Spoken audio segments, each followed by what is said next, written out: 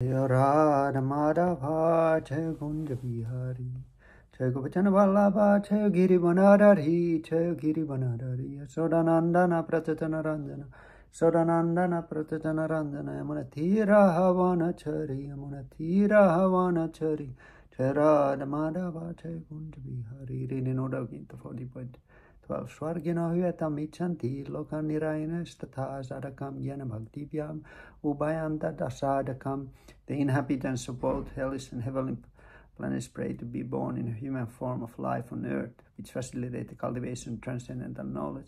Devotion service as opposed to hellish and heavenly existence, which does not provide facility. So this is blessing to have the human form of life. There's so many, 8,400,000 different uh, categories of life and human form is facilitating the cultivation of spiritual understanding. If one goes to higher realms, the matter of happiness is so strong that it bewilders the consciousness.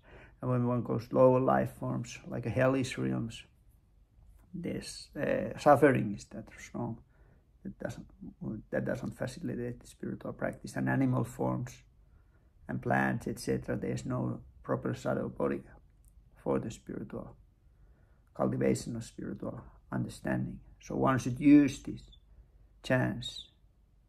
The, human life is meant for self-realization. One should use this chance to try to transcend the material energy. Sri Radheshyam.